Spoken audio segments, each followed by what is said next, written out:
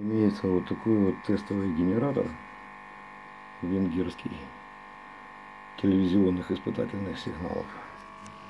Значит, модель TR0836 дробь T046.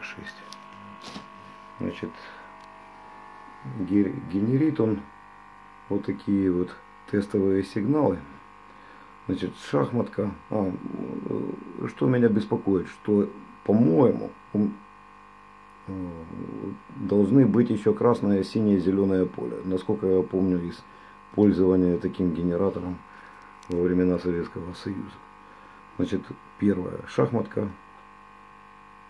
второе поле, третье, четвертое, пятое, шестое, седьмое никаких изменений, восьмое никаких изменений, девятое цветные полосы, такие цветные полосы, десятое, одиннадцатое, двенадцатое, тринадцатое, четырнадцатое, пятнадцатое, шестнадцатое.